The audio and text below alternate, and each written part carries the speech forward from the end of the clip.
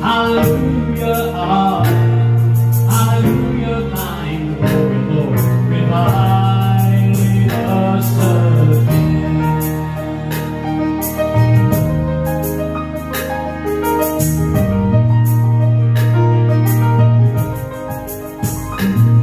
All glory and praise to the Lamb that was slain, who has borne